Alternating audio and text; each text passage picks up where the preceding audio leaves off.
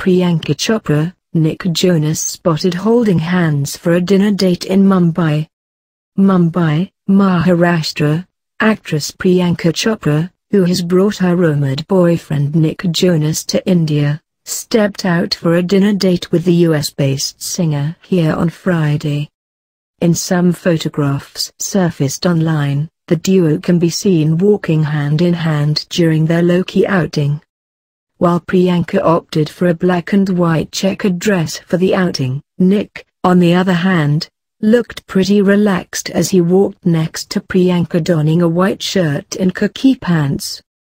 Priyanka and Nick, who have been romantically linked to each other ever since 2017 Met Gala, where they walked the red carpet together in Ralph Lauren designs, landed in India on Thursday night.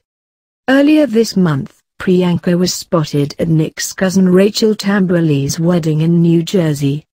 The duo spent time with Nick's family at a brunch. Priyanka and Nick are yet to confirm their relationship.